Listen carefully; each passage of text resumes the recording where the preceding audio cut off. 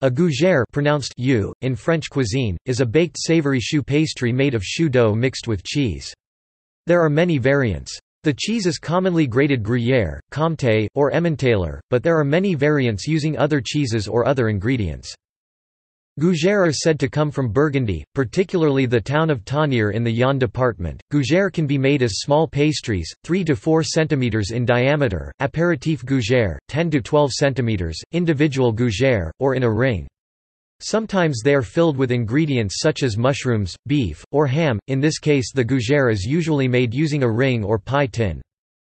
In Burgundy, they are generally served cold when tasting wine in cellars, but are also served warm as an appetizer.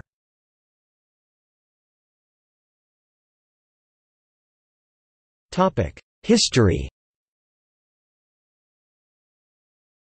While the term currently refers specifically to savory choux pastries, 18th and 19th century records suggest that it was once an umbrella term for a number of preparations, some composed of just cheese, eggs, and breadcrumbs. The presentation was usually a flat circle, neither a sphere nor a ring. Earlier forms of gougère were more a stew than a pastry, including herbs, bacon, eggs, cheese, spices, and meat mixed with an animal's blood, and prepared in a sheep's stomach.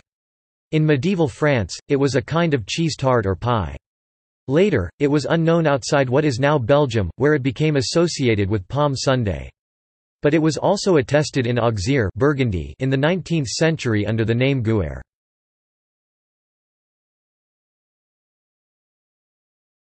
Topic name. The word gougère was formerly spelled guere, guyere, goyer, goyer, or guyere. The modern spelling appears to date from the 18th century, the ultimate origin of the word is unknown.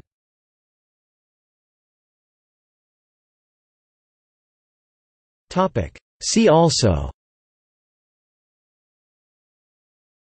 Pão de queijo Scone List of choux pastry dishes